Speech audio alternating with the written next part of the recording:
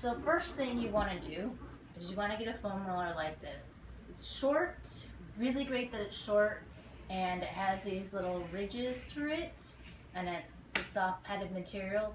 There are some that have these big knobs through them, and I would not recommend that to start. I don't know if I'd ever recommend that to be honest, because it's quite intense. So the smooth one, I don't recommend either because it's, um, I feel like it doesn't do too much. Like this really gets in a lot of places.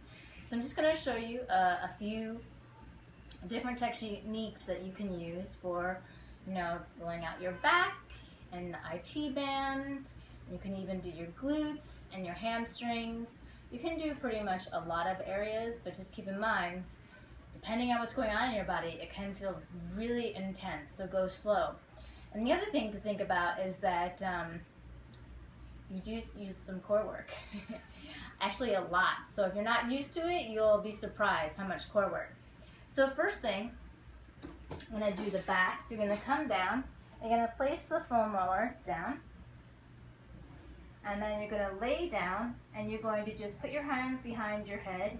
And I'm using my core already. And just slowly roll all the way up to my shoulders, not to my neck and then roll back. So you keep that lift using your core. Roll all the way up and then back down. And some people stop even before the lower back. It depends on you. I happen to like going that far. And then from here, you can play with the arms. You can just like, first of all, you can stay here and roll back and forth. See if there's anything that you feel there. And then you can draw the arms overhead.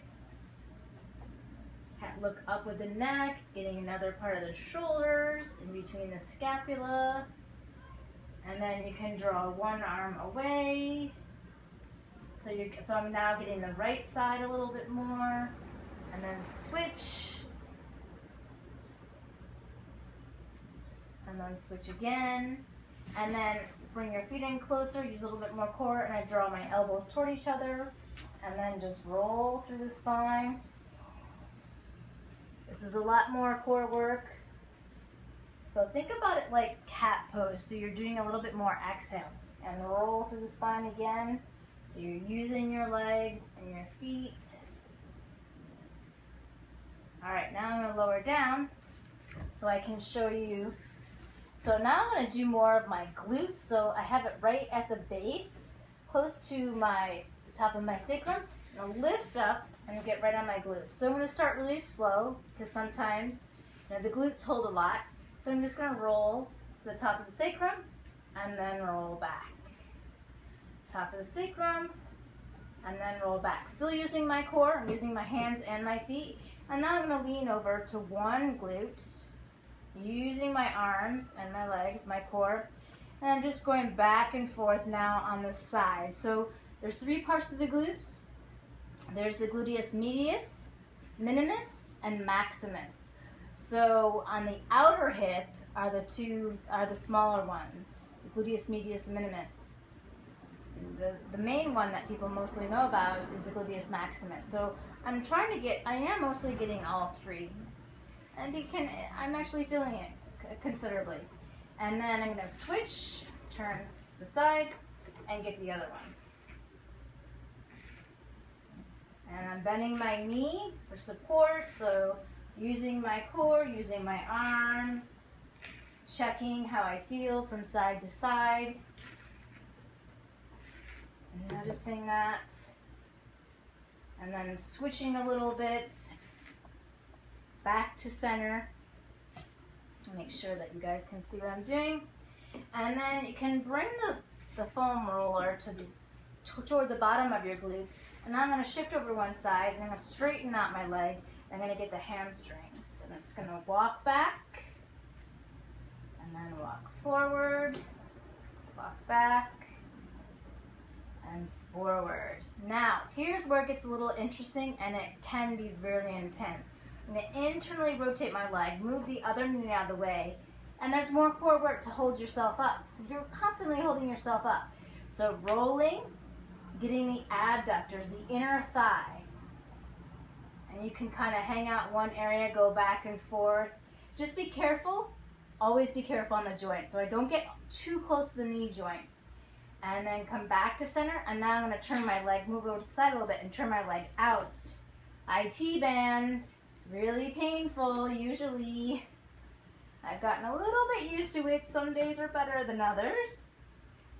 And keep rolling out. And notice that I also start to lift up a little bit where this is more core work. And the more weight you drop down, working with gravity, the more you're going to feel it. So I'm not turning my leg all the way out because that's really intense.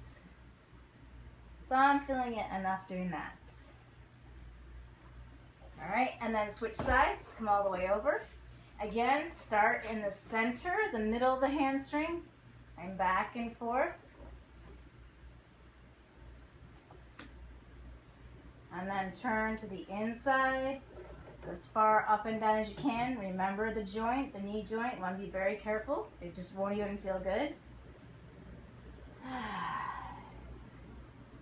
Using your core for stability as well. Now, turn the leg out. Keep lifting your chest. Woo! The side feels a lot different. And get the IT band. So notice I'm staying center. I haven't turned my torso yet. So, and you can even go into the glutes a little bit. And then roll back. And then you can turn the torso. And roll back. Going all the way up to the glutes. And I like to do that sometimes because you just kind of want to finish that line. And it's just a line of where you are, not any specific line really. I mean, that can get into a long, much longer conversation. And then come off. And then if you want, you can also do the calves. So again, I'm below, I want to be below the knee joint. And this is less feeling because you have less weight to drop in this area. So you're gonna lift your torso up and actually let's come further this way. Torso up, go all the way toward the ankle and then back and then you can turn the foot in, going back and forth. And I'm using all my core to hold myself up and my arms. You get an arm workout too. Turn the leg out and roll back and forth. It's not so intense on the on the outside. It's more intense on the inside. And then come back to center. And you can just hang out on one area and just kind of go back and forth again. And then I'm to lower down and I'm going to switch so I'm even. You always want to make sure you do that for yourself, that kindness. Even it out.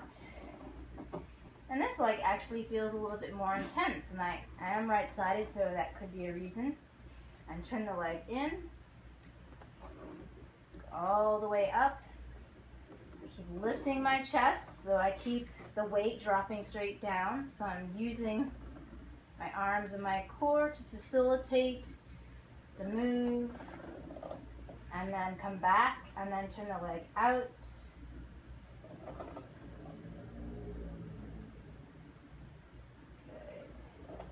And the outside is just a little bit different. Not too bad on this leg.